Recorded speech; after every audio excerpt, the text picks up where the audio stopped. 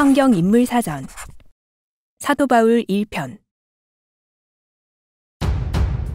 사도 바울은 예수를 믿는 자들을 앞장서서 박해하였으나 훗날 다메섹으로 가는 길에 예수님의 음성을 들은 이후 회심하게 됩니다.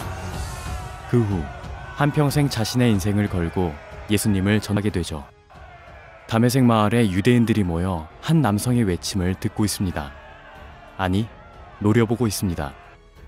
예수를 믿어야 합니다. 예수를 믿으십시오.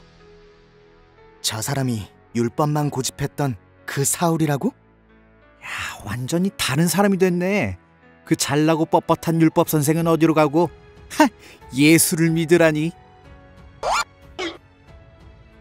하나님께서 선지자들을 통해 약속하시고 보내주신 예수님을 믿으셔야 합니다. 유대인이 당신이 어떻게 그런 말을 할 수 있어? 이 뻔뻔한 그, 거짓말쟁이 이 사기꾼아! 아! 그만! 그만하지 못합니까? 사기꾼, 거짓말쟁이? 거짓말은 당신들이 하고 있어요! 이단에 빠진 주제에 사울, 이제 와서 그리스도인 편을 드는 당신이 웃긴 거 아니야? 신앙이 장난이야? 그럴 리가요. 하나님이 어떤 분이신데? 저는 율법에서 벗어나 하나님이 약속하신 예수님의 계시 말씀을 깨달아 새 사람이 된 것뿐입니다. 웃기는 소리네. 믿으려면 너나 믿어. 배신자야.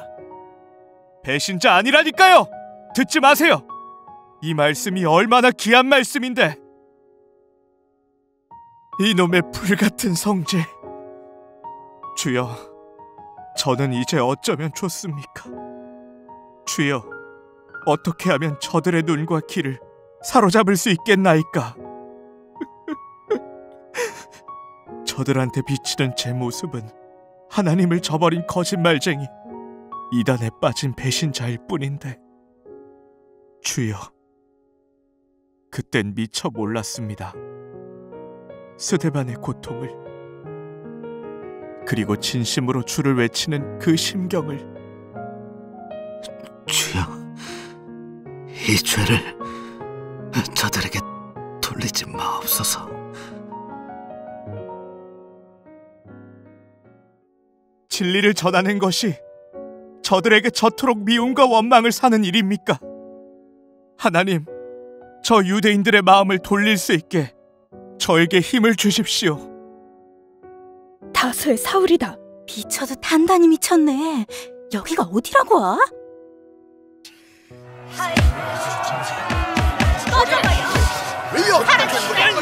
이단, 이단, 이단. 여러분, 계시 말씀을 알아야 합니다. 더러운 입으로 우릴 모욕할 거면 꺼져! 난 당신들과 싸우려고 온 것이 아닙니다. 예수님의 말씀을 전하러 왔습니다. 당신들은 내가 이전에 유대교에 있을 때 행한 일들을 듣거나 보았을 겁니다. 그리스도인을 핍박하고 유대교를 지나치게 믿어 내 조상의 유전에 대해서만 열심이었던 걸 말입니다. 한때 나는 자랑스러운 히브리인이었고 율법을 최고로 여겼던 바리새인이었습니다. 그러나 예수님의 계시 말씀을 듣고 제 신앙이 잘못된 것을 깨달았습니다. 그 입에서 유대교를 올리지 마라. 이단에 빠진 배신자 사울을 잡자.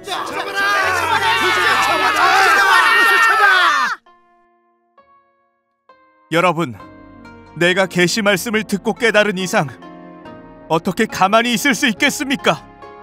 나에게 유익한 모든 것을 나는 그리스도를 위해 다 해로 여길 것입니다. 이 모든 것을 해로 여길 수 있는 것은 그리스도 예수를 아는 지식이 가장 고상함을 깨달았기 때문입니다. 집어쳐.